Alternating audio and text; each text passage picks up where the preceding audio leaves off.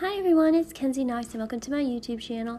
Today I decided to paint in a pastel forest using um, different shades of phthalo green, orange, luminous rose, some light blue violet, some titanium white, some black, and some burnt umber. And using these different shades, I created various um, twigs and branches and trees and even added in some birch trees into my painting and some twiggy trees as well and just added in just different little looks of um, branches like in the background. And then I added in a little brown river which really complemented the um, pastel forest and snow. And I added shadows in front of the bushels and trees too. I didn't forget about that and added their shadows and reflections into the water as well.